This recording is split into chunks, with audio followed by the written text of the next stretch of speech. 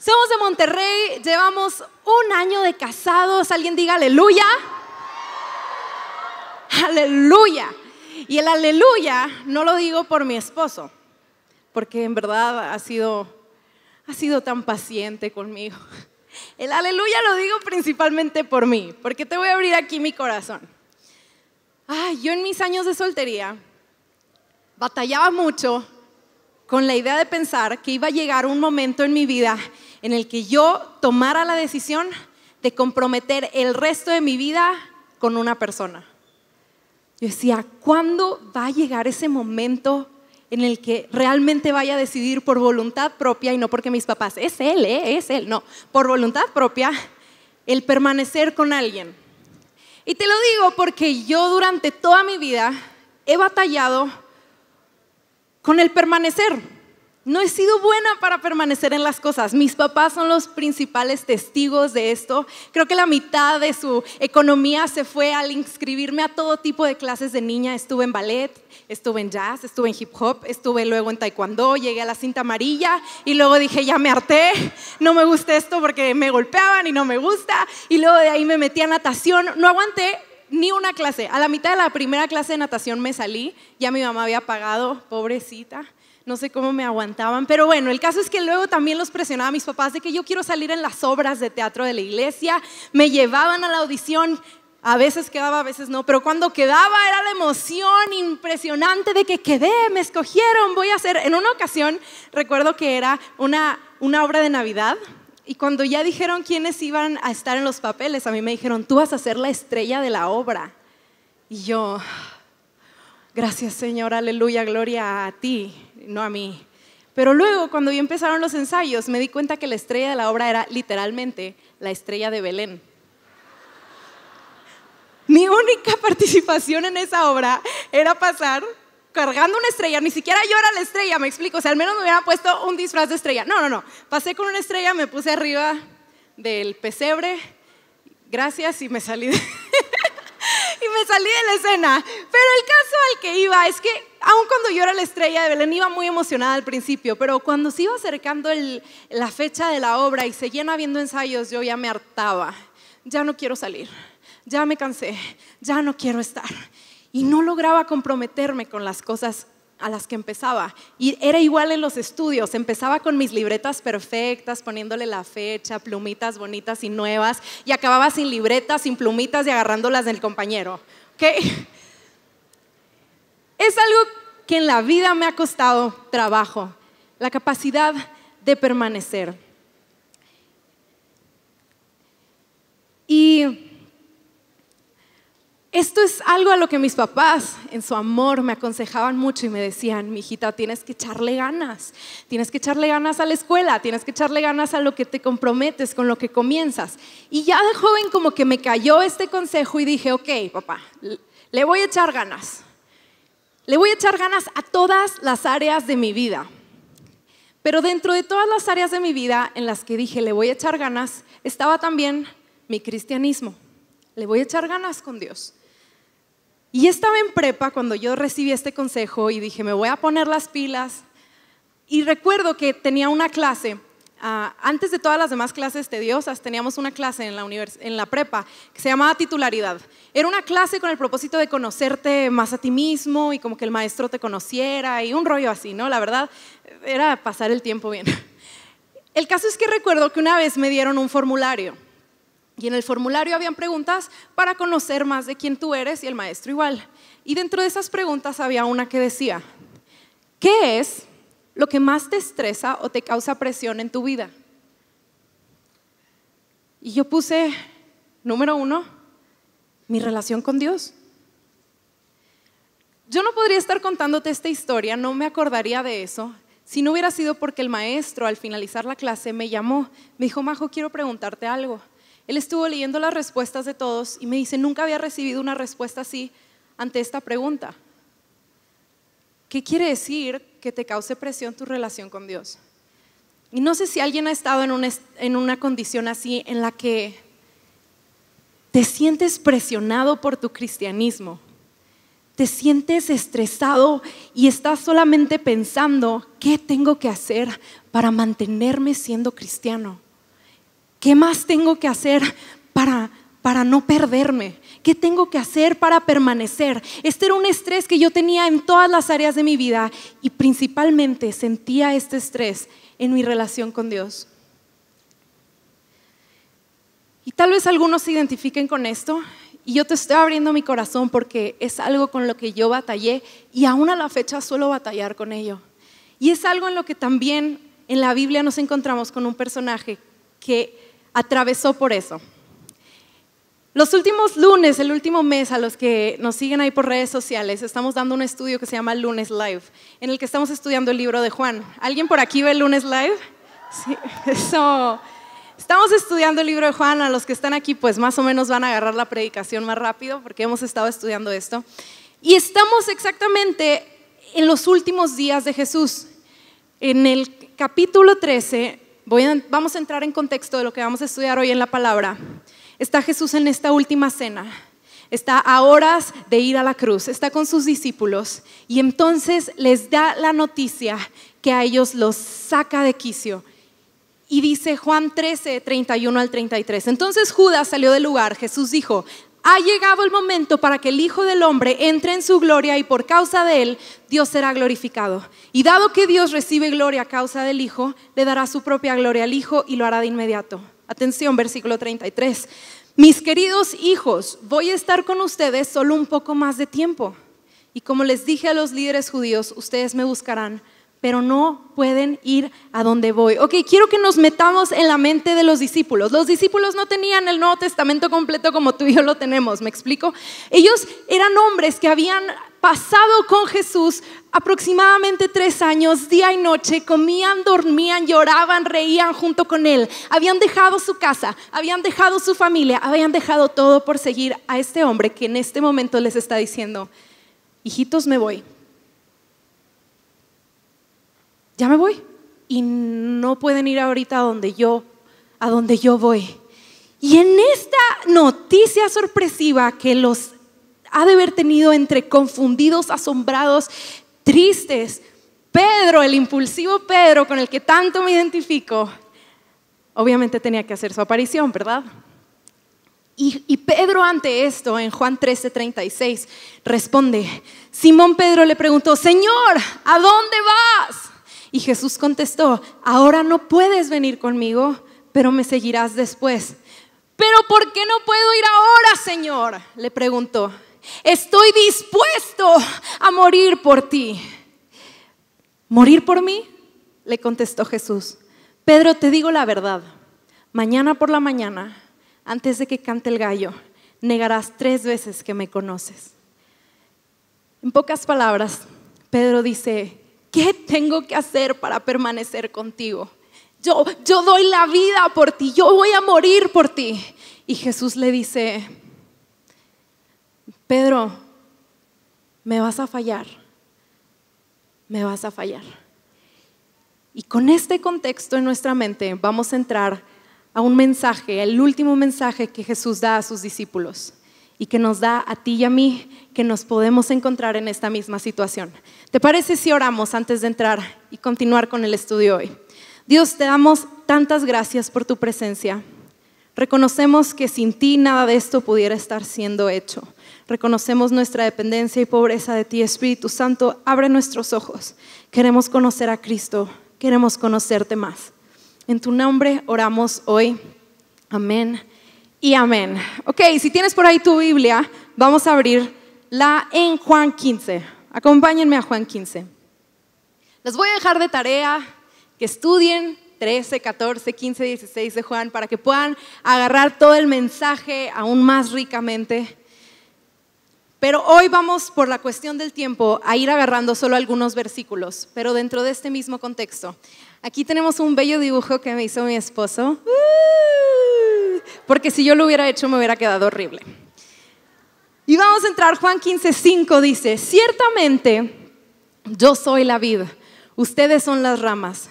Los que permanecen en mí y yo en ellos producirán mucho fruto porque separados de mí no pueden hacer nada. Vamos a comenzar con la primera palabra. ¿Cuál es la primera palabra que ahí quiero que resaltemos? Es yo soy. Ok, cada vez que tú y yo veamos en la Biblia un yo soy, tenemos que parar la oreja porque Jesús está a punto de revelar más de quién Él es y de su obra. Entonces, este yo soy es sumamente importante porque es el último yo soy que Jesús dice de sí mismo aquí en la tierra. Y dice, yo soy la vid. Y yo quiero resaltar dos características de la vid. Y antes que nada, para aclarar dudas, la vid es la planta que da uva. ¿Estamos en eso? ¿Alguien, alguien dice, no, herejía? No, no, ¿verdad? Ok. Entonces, la vid tiene dos características que quiero que resaltemos esta, esta mañana, esta tarde. Número uno, la vida es la fuente. Es la fuente de vida. Esto es la vida. Nada de esto pudiera ser si no está la vida. La vida es la fuente de vida. Jesús es la fuente de vida. Y antes de ser esta vid que podemos conocer y ver, Jesús fue una semilla que vino a la tierra, se plantó, fue enterrado en una tumba, murió y resucitó para darnos vida y vida en abundancia. Él es la vid y no hay vida fuera de Él. Él es la vid verdadera. Es la fuente de vida. Y número dos, la vida es quien sustenta. Digan conmigo, la vida es quien sustenta. Sin la fuerza del tronco de la vid, no pudiera haber fruto. Él es quien sustenta las ramas y sustenta el fruto. Él es el que permite que esto, todo esto sea posible. Entonces, nos quedamos con esas dos características de Jesús. Jesús es la vid, es la fuente y es quien sustenta. Y luego dice, yo soy la vid, ustedes son las, las ramas. Y por aquí yo me traje una rama. Uh, ok, díganme realmente para qué pudiera yo usar esto. Unos bombones, buena, buena idea. Pero luego de los bombones, tal vez si tengo un perrito se lo aviento, pero no creo que me lo regrese. Mi perrito no regresa las cosas así. Ah, sirve para hacer fuego, pero pensándolo bien, no es muy útil una rama así. Y una característica, la primera que yo quiero que resaltemos de una rama, la cual somos tú y yo, es que es dependiente. Una rama no cumple con su función si no está conectada con la vid. Una rama es dependiente. Y tú y yo eh, vivimos en un mundo con filosofías que constantemente nos están diciendo, tú puedes, tú lo vas a hacer solo, tú tienes lo que se necesita, tú puedes alcanzar el mundo, en ti está la fuerza. Y Jesús dice, tú eres una rama. Y esto no es algo en lo que nos debemos de avergonzar, porque si conocemos realmente la razón por la que Dios nos llama ramas, encontraremos gozo y satisfacción en serlo. Así que yo quiero que ahora, en vez de que hagan así camisas, yo soy hijo de Dios, yo soy rama de Dios. ¿Eh? Las voy a vender y espero que me las compren. No es cierto. Una rama es dependiente. Una rama no puede dar fruto si no está conectada a la vida. Y número dos, una rama es frágil. Si yo les hubiera pedido acá al increíble staff del Congreso Vida, ahí se me atoró la rama, miren, para esto sirve, no, no es cierto. Si yo les hubiera pedido, oye, tráeme un tronco, un, tronco, un grandote tronco de un árbol, realmente me hubieran dicho de que, lo siento, no se puede. Pero una rama sí, porque es frágil, porque es fácil, en sí sola es fácil de romperse. Y tú y yo, Jesús nos está hablando a ti y a mí aquí de que somos frágiles y tenemos que abrazar esto, porque nuestra fragilidad entonces vamos a ser fuertes al depender de la vid. Yo soy la vid, ustedes son las ramas. Los que permanecen en mí y yo en ellos producirán mucho fruto.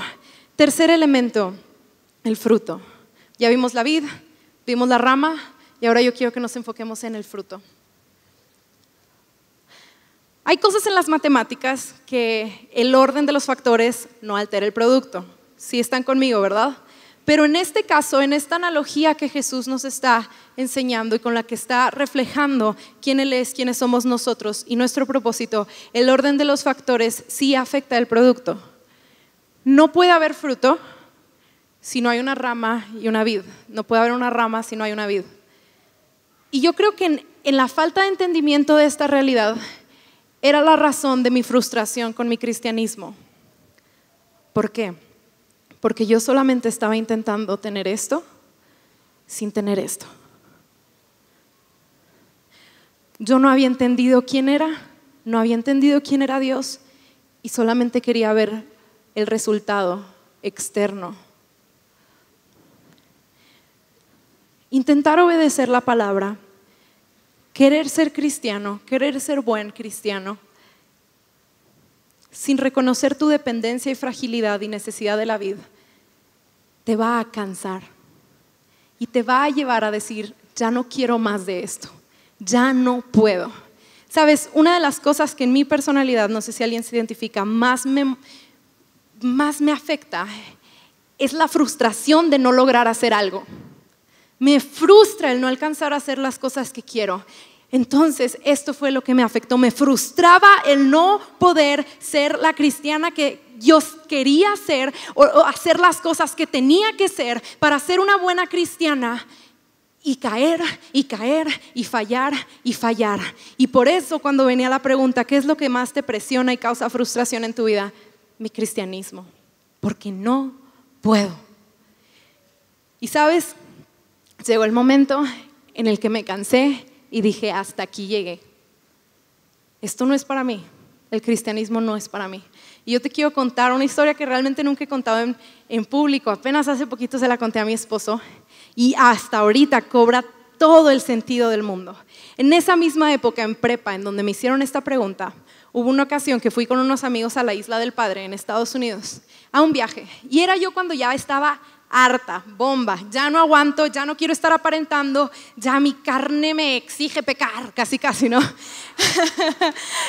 y estando ahí, les dije, ¿saben qué? Amigos, vamos a emborracharnos, vamos a pasarla bien. ¿Qué es ese bu? Por favor, sáquenme ese hermano de aquí. Vayan y oren por él por allá. Creo que le faltan otras tres horas de adoración. ¿No, ¿No es cierto? En ese caso yo sí, mis amigos, no sé por qué, si eran cristianos también fue que, ¡Woo! Y ahí nos ves a los tres en la isla del Padre, oímos de nuestros papás y fue que vámonos a emborracharnos. Yo tenía unas ganas así de, de como que ya mi graduación del cristianismo, casi, casi, ¿no? Y nos vamos, vamos a un restaurante, nos sentamos. Yo era todavía menor de edad para Estados Unidos, pero mis amigos no, entonces era como que no se van a dar cuenta. Y ya, me sentaba ahí entre ellos, me hacía la grande y pedíamos así, mesero, mesero, waiter, waiter, come. Y haz de cuenta que nadie nos hacía caso y dijimos, no, en este restaurante han de ser racistas, no nos tiran una, vámonos a otro. Y ya nos íbamos a otro. Nos sentamos en una barra, en un bar, hey, hey, one whiskey, please. Ah, ni sabía yo qué, qué tomar, ¿verdad? No había tomado casi nada. Y el caso es que Nadie nos hacía caso, parecíamos invisibles. Fuimos a cinco restaurantes y no me sirvieron ni una cerveza, nada, nada me sirvieron. Y yo dije, estoy harta, otra vez no pude lograr esto. Entonces, en mi enojo y decepción, me regresé al departamento y dije, Ay, ya, otro día peco. y me fui en mi enojo y decepción y me quedé ahí. Y mis amigos se fueron a seguir, no sé qué iban a hacer. El caso es que mientras mis amigos se iban del departamento, pasó algo sobrenatural. Uno de esos de repentes de Dios. Y de repente el Espíritu Santo los llenó. Y mientras iban caminando, iban hablando en lenguas, iban orando en el Espíritu, iban adorando a Dios. O sea, sí, los amigos que estaban a punto de emborracharse conmigo. Unos segundos después, el Espíritu Santo vino y los llenó y, y estaban adorando a Dios. Y dentro de lo que estaban orando, el Espíritu Santo les ponía a ambos en sus mentes y en sus corazones, tengo algo que hablar con Majo, tengo algo que decirle a Majo, tengo algo que decirle a Majo. Y corrieron hacia el departamento, hacia donde yo estaba en mi decepción y enojo, encerrada en mi cuarto, y me dijeron, Majo, levántate, tenemos que ir a adorar. Y yo, ¿qué? Hace unos minutos estábamos acordando de ir a pistear y ahora quieren que vayamos a adorar. ¿Qué tipo de bipolaridad es esta? Y yo, ¿qué les pasa? Claro que no. Aparte yo estaba en toda la condenación. Sería una hipócrita si me voy a adorar. No, es que pasó esto. Y el Espíritu, y las lenguas, y tú, y Dios, contigo. Fueron tan insistentes y doy gloria a Dios por eso que me levanté ya para que se callaran y me dejaran regresar a mi cuarto a dormir. Agarré una guitarra que había por ahí y nos salimos a la playa. Y a mí me daba pena, en ese momento me acuerdo que me daba pena ponerme a orar en la playa si había otras personas. Entonces decían, aquí, aquí, vamos, aquí. Y yo, no hay gente, vamos a seguir caminando. Aquí, aquí. No, no, no, todavía hay gente. Vamos. Caminamos muchísimo, hasta un punto en el que ya no sé ni dónde era, que no había ni un alma alrededor. Nos sentamos ahí. Y yo empecé a, a tocar la guitarra y a cantar. Bueno, ahí vamos, venga por darles el gusto. Y vine a alabarte, vine a adorarte. Era la, canción de ese momento.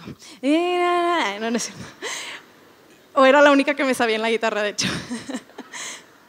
Una canción, dos canciones, y adivinen qué pasó. Nada. No pasó absolutamente nada. Y en ese nada, yo me enojé y dije, estoy harta, aquí estoy cantando otra vez, orando y no siento nada, y no siento nada. Me levanté de la nada, no le dije nada a mis amigos, corté su inspiración eh, de ahí a mitad de la canción del coro y empecé a caminar de vuelta. Yo recuerdo que ellos venían atrás sorprendidos, confundidos, pero solamente los escuchaba que seguían orando por mí. Y caminé y caminé. Y como habíamos tomado un largo camino de ida, pues quedaba un largo camino de vuelta. Y antes de llegar al departamento, físicamente me cansé. Estaba físicamente, espiritualmente cansada, pero en ese momento también me encontré espiritualmente, físicamente cansada. Y recuerdo que me senté. Me senté frente al mar solamente a descansar y a seguir enojada. Y mis amigos se quedaron ahí atrás. Y callé y me quedé callada un buen rato, viendo el mar. Y en mi silencio, de repente el Espíritu Santo llenó mi vida. Yo no sé cuánto tiempo pasó. Dicen mis amigos que pasaron más de una hora ahí. Yo sentía como un torrente venía y llenaba mi vida como nunca antes lo había sentido. Fue tanto lo que pude sentir a Dios y conocer a Dios, que mi cristianismo nunca volvió a ser lo mismo. Y recuerdo que de una manera sobrenatural que no puedo explicar, ya cuando estaba a punto de levantarme e irme, sentí de mi lado derecho una voz que decía, eres mi hija en quien tengo complacencia. Y después de eso me levanté mis amigos seguían atrás, continué mi camino, no les dije nada. Pobrecitos han de haber estado así, ¿qué pasó? Pero yo estaba tan impresionada con lo que Dios había hablado a mi vida que no volví a hablar en todo ese día. Y al día siguiente se acercaron conmigo y me dijeron, Majo, queremos compartir algo que Dios nos mostró ayer. Y yo, adelante. Me dicen, unos segundos antes de que tú te levantaras y continuaras tu caminar, vimos como a un hombre sentado a la derecha de ti, hablándote al oído.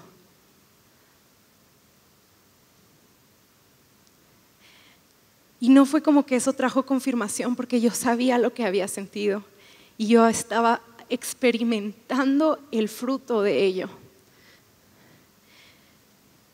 Y esto es una palabra que encontramos en Marcos 1.11 cuando Jesús está siendo bautizado por comenzar su ministerio y el Padre desde los cielos le dice, eres mi Hijo amado en quien tengo complacencia. Lo dijo antes de que Jesús hiciera cualquier cosa de su ministerio público. Le afirmó y le dijo, tú me complaces por lo que eres, no por lo que haces.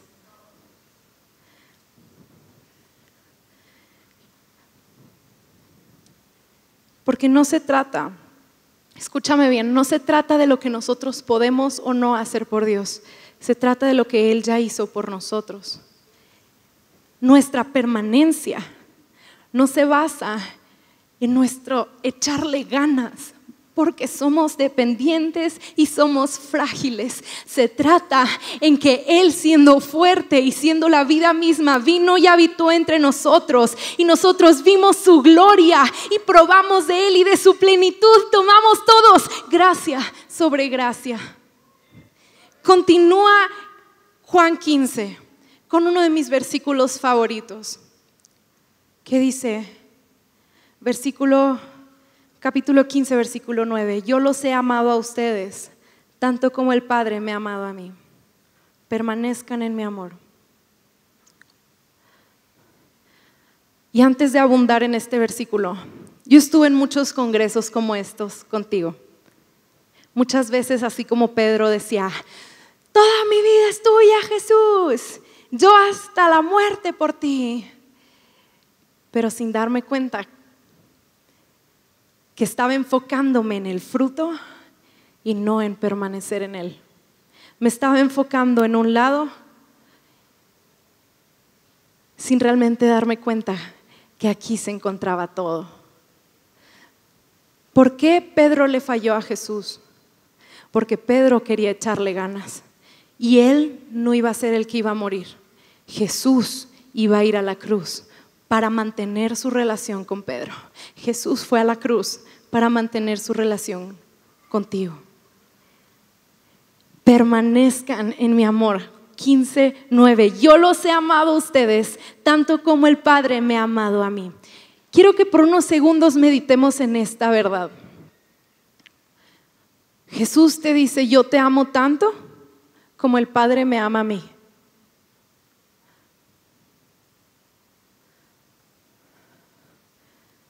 Jesús, para expresarnos la magnitud del amor que tiene para con nosotros, puso de ejemplo el amor que Él tiene, que Él recibe de su Padre.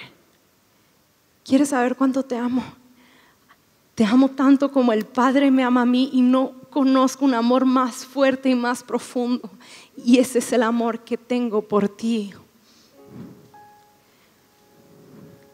Jesús no nos dice, permanece en las obras, permanece echándole ganas, permanece, permanece, no faltes nunca a la iglesia, porque si no, te pierdes de mí. Él dice, permanece en mi amor. Y permanecer en el amor de Dios no es algo gravoso no es algo difícil. Permanecer en un amor como el amor que tiene Jesús por nosotros es el deleite más grande que existe. Es la satisfacción a un alma cansada y cargada. Es algo que cuando lo conoces no querrás despegarte de él.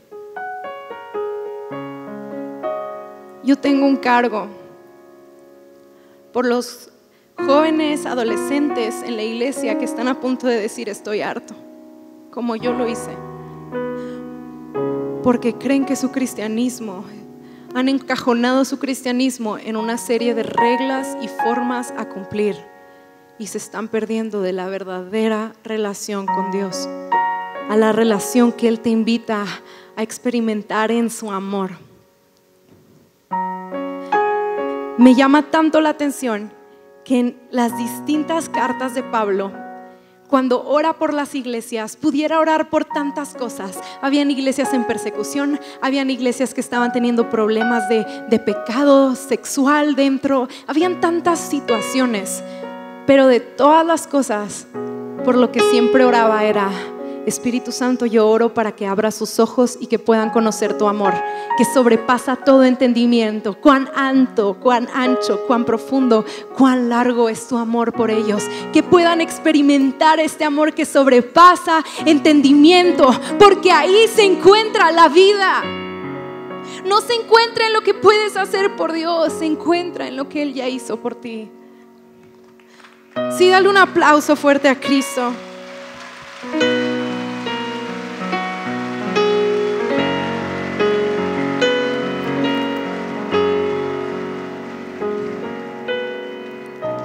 Nos llama a permanecer en su amor. Permanece en mi amor. Y hoy quiero que sigamos profundizando en el amor de Dios. ¿Por qué no me acompañas a Efesios 3? Perdóname, a Efesios 1. Efesios 1. Vamos a profundizar en este amor del que Dios nos habla a permanecer, nos llama a permanecer. Efesios 1, versículo 4, dice, incluso antes de haber hecho el mundo, Dios nos amó. Número uno, el amor de Dios no termina. El amor de Dios por ti no tiene fecha de caducidad. El amor de Dios por ti no termina en el momento en el que cometes tal cantidad de pecados. Piénsalo bien. Si la Biblia dice que Dios te amó desde antes de haber hecho el mundo, Dios te amó aún viendo tus pecados pasados, presentes y futuros y te amó. El amor de Dios por ti no tiene fin. Continuamos. Y nos eligió en Cristo para que seamos santos e intachables a sus ojos. El amor de Dios es sin condición. No hay ya nada que te pueda condenar. Si has creído en Jesús, si has puesto tu fe en lo que Él hizo por ti en la cruz, escúchame bien, no hay nada que te pueda separar de Jesús. ¿Sabes lo que es el acto de justificación? El acto de justificación es el hecho de que Jesús con su vida perfecta, ningún pecado, complaciendo al Padre en todo lo que Él es, dijo, dame tú tu historial pecaminoso tu flaqueza, tu fragilidad, que yo voy a ir con ello a la cruz. Y mientras Jesús tomaba la ira que tú y yo merecíamos por nuestras transgresiones en esa cruz, la ira del Padre fue sobre él. Su pureza, su santidad fue transferida a nosotros. Así que cuando tú te acercas al Padre con la fe en Jesús, él te ve santo e intachable a sus ojos, como ve a Jesús, con la vida de Cristo.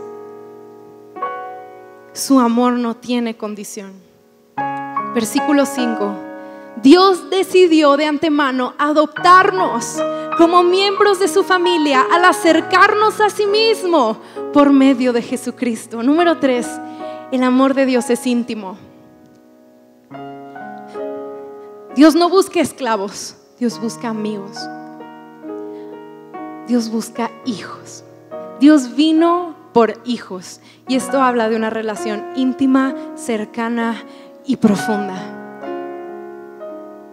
El amor de Dios por nosotros es íntimo, así como es íntimo el amor del Padre con el Hijo. Así es íntimo de Jesús hacia nosotros. Terminamos con estos los siguientes versículos. Eso es precisamente lo que él quería hacer y le dio gran gusto hacerlo. De manera que alabamos a Dios por la abundante gracia que derramó sobre nosotros los que pertenecemos a su Hijo amado. Dios es tan rico en gracia y bondad que compró nuestra libertad con la sangre de su Hijo y perdonó nuestros pecados. Él desbordó su bondad sobre nosotros junto con toda la sabiduría y el entendimiento.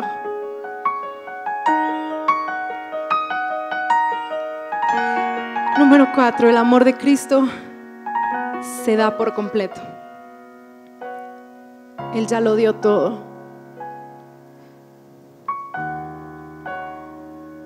Nunca se trató de ti. Dios nunca te pidió que tú le echaras ganas para mantener algo, por lo que Él ya dio toda su sangre. El velo ya fue rasgado y tú con confianza y con la fe en Él puedes entrar y deleitarte y disfrutar de lo que con la sangre del cordero fue pagado. Y yo quiero bajar esto a lo práctico. ¿Qué, ¿Cómo se ve en la vida diaria el permanecer en el amor de Dios? ¿Qué es permanecer? Permanecer habla de estar de estar, de estar, de estar continuamente. Antes de levantarte y pensar, ¿qué voy a hacer hoy? ¿Qué voy a hacer hoy por Dios? Levántate y di, quiero meditar en lo que tú ya has hecho por mí. Toma más tiempos en silencio. Los momentos más íntimos que he vivido con Dios son en los que cierro mi boca. Nos cuesta tanto trabajo guardar silencio. Llegamos con nuestras canciones siempre y nuestras oraciones siempre. Terminamos nuestra lista y nos vamos. Y Dios quiere hablarte de su amor por ti. Dios quiere hablarte de su pasión por ti, de lo que Él ya hizo por ti. Quiere enamorarte una y otra vez, llenarte. Pero necesitamos permanecer en su amor.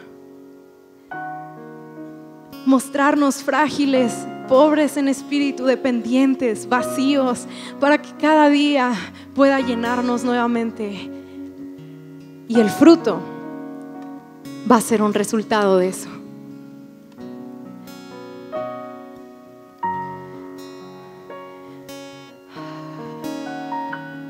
No se trata de los eventos, se trata del diario vivir. Dios nos ha llenado aquí, pero no es para que se quede aquí. Es para que continuemos una vida sobrenatural, una vida de adoración, una vida de llenura en nuestro día a día, a donde sea que cada uno de nosotros vayamos. Tenemos que vivir conscientes del Evangelio. El Evangelio no es el mensaje para el nuevo es el mensaje, no es el mensaje que te salva la primera vez. El Evangelio es el mensaje que te salva cada día de tu vida. Es el mensaje que te recuerda quién eres, quién es Él y te mantiene en esta permanencia. Tenemos que seguir meditando en el Evangelio.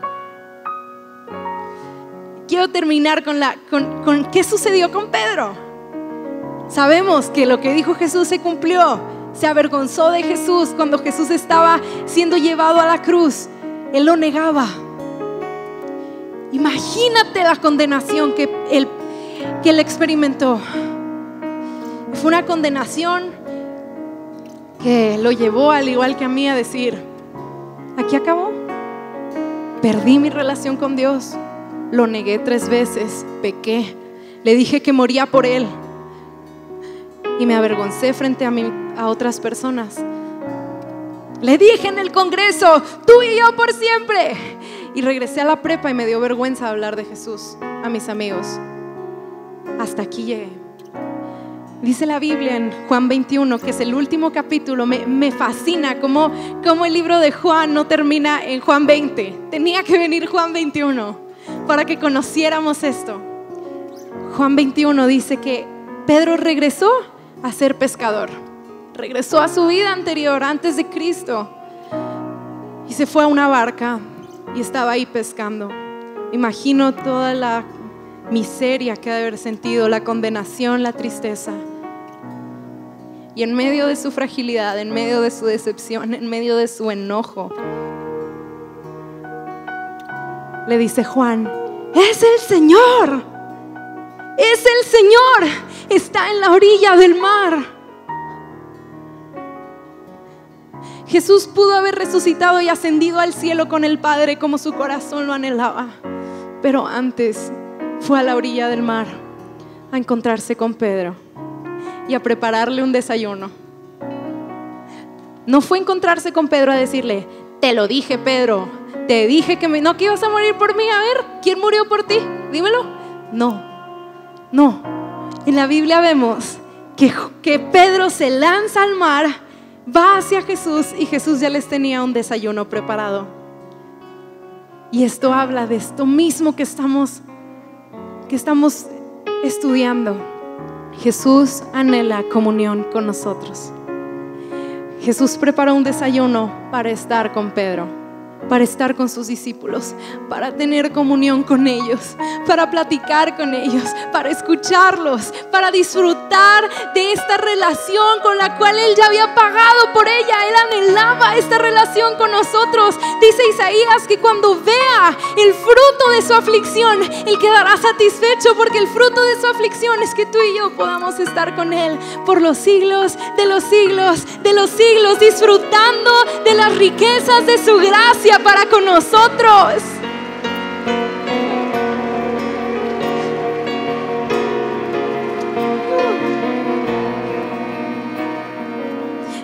Y dentro de este contexto encontramos estos versículos que son muy conocidos. 21, 15 al 19 dice, después del desayuno, Jesús le preguntó a Simón Pedro, Simón, hijo de Juan, ¿me amas más que estos? Sí, Señor, contestó Pedro, tú sabes que, que te quiero. Entonces alimenta a mis corderos, le dijo Jesús. Jesús repitió la pregunta, Simón, hijo de Juan, ¿me amas? Sí, Señor, tú sabes que te quiero. Entonces cuida mis ovejas. Le preguntó por tercera vez, Simón, hijo de Juan, ve la diferencia. Le dice, ¿me quieres? A Pedro le dolió que Jesús le dijera la tercera vez, ¿me quieres? Le contestó, Señor, tú sabes todo. Tú sabes que yo te quiero. Jesús dijo, entonces alimenta a mis ovejas. Jesús no se sorprende de que nuestro amor sea frágil porque Él sabe que es frágil y que lo somos. Y por lo mismo se rebaja con Pedro y le dice, ok, no me amas ahorita, pero me quieres. Sí te quiero. Eso es suficiente. Eso es suficiente. Aún tu esfuerzo de amar a Dios es adoración para Dios.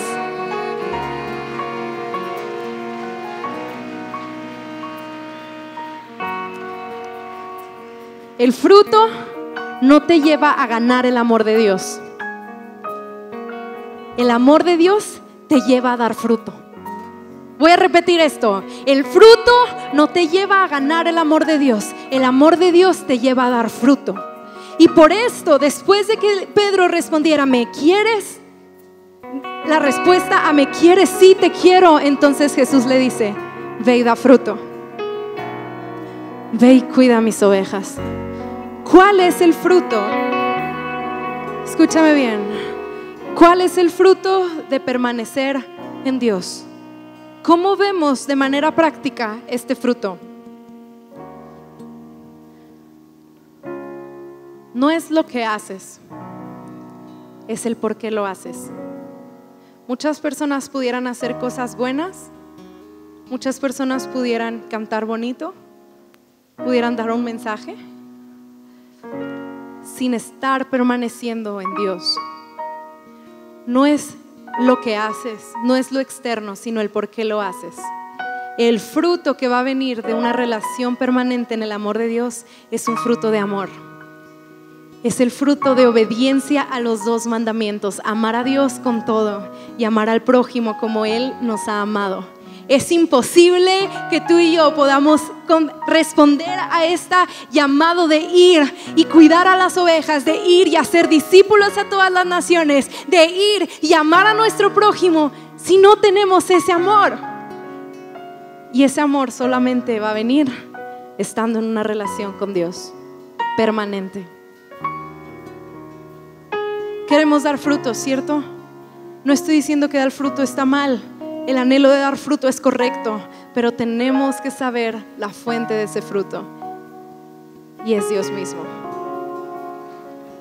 Y es Dios mismo.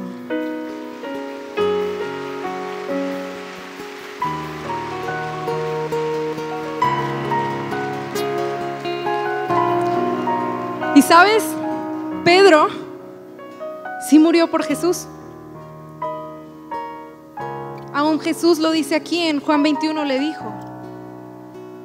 Pedro al final sí murió por Jesús, pero no murió para ganarse su relación con Jesús, murió en respuesta a conocer a Jesús. Dio su vida en respuesta a haber experimentado el amor de aquel que lo dio todo por él en la cruz del Calvario, aún en su pecado y en su miseria. Dice Filipenses 1:6, y estoy seguro de que Dios, quien comenzó la buena obra en ustedes, la continuará hasta que quede completamente terminada el día que Jesucristo vuelva. Él la comenzó, Él te amó primero, Él te ama hoy, Él la va a terminar. Y nosotros nos aferramos a eso. Nos aferramos a eso. ¿Por qué no nos ponemos de pie un momento? Quiero, antes de contar,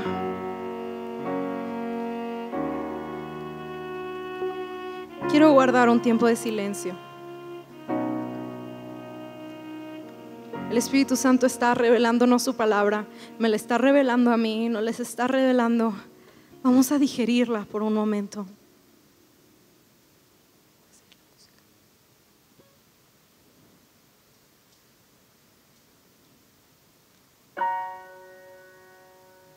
Solo medita en esto.